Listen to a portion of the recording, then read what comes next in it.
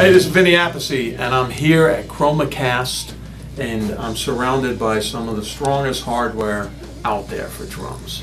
This is the uh, ChromaCast pedal. This is the pedal I use. A lot of guys ask me how do I get the speed and power from the bass drum, because I'm a single bass drum player.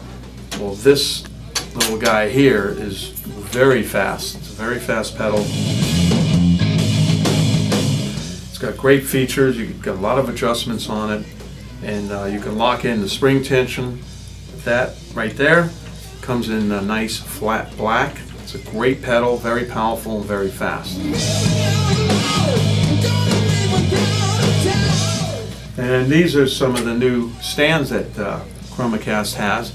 And these feature a one turn adjustment, so you can go that way and in and out all with one lever rather than finding the right uh, nut to turn, the wing nut, to get the adjustment you want.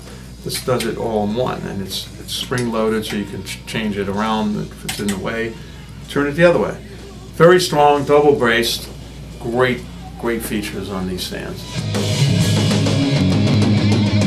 Hi-hat's a, a two-legged hi-hat, which is very sturdy. I'm not a big fan of two-legged hi-hats, but this one, very sturdy, it doesn't move, it doesn't shake and uh, it's a, a great strong hi-hat. And then we have a snare stand down here, which I beat the living hell out of, and uh, this is very, very strong snare stand. Great feature of this is it has adjustments here. If you want to go up and down with the actual claws on this snare stand, you loosen that.